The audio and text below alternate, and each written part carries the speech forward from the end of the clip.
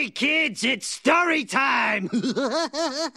I'm gonna tell you the story of Krusty's expensive new suit. His sexual harassment suit. oh boy. Anyway, as part of Krusty's plea bargain, he has a new court-ordered sidekick, Ms. No Means No. Whoa, you're hot. Let's get some dinner after the show.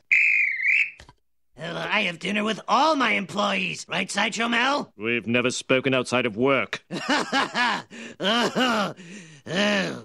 I'm surprised he doesn't try to blame his problems on his Percodan addiction. It wasn't my fault. It was a Percodan. If you ask me, that stuff rots your brain. And I'll wait for my new sponsor. Percodan! Ah, crap!